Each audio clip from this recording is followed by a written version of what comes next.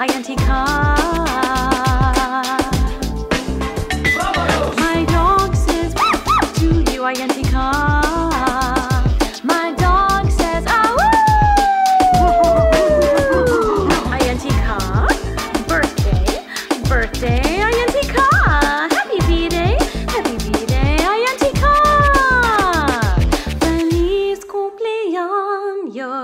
America, yeah. One happy birthday dot com.